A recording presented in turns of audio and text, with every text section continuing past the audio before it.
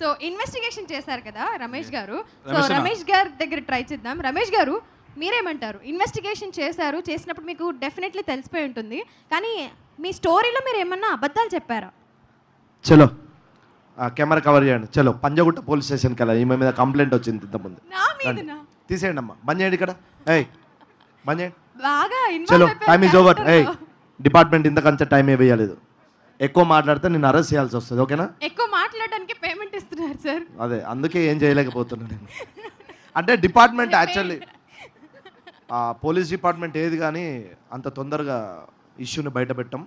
పద్నాలుగు తారీఖు వరకు ఆగాల్సిందే ప్లీజ్ Okay. థ్యాంక్ యూ బా ఏమన్నానా? జీవించేశారు. I can't wait April fourteenth ఖచ్చితంగా చూడాలి.